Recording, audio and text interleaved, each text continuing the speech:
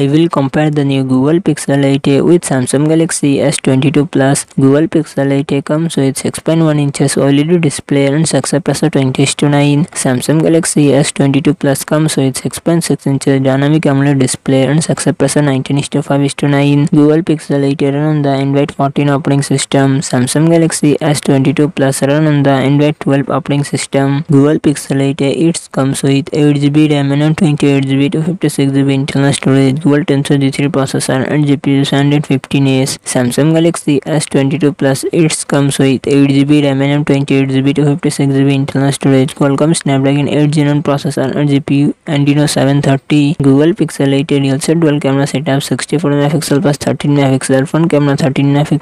Samsung Galaxy S22 Plus real set triple camera setup 50MP plus 10MP plus 12MP front camera 10MP. Google Pixel 8 4492 mAh battery 30 50W fast charging support. Samsung Galaxy S22 Plus 4500 mAh battery, 45W fast charging support.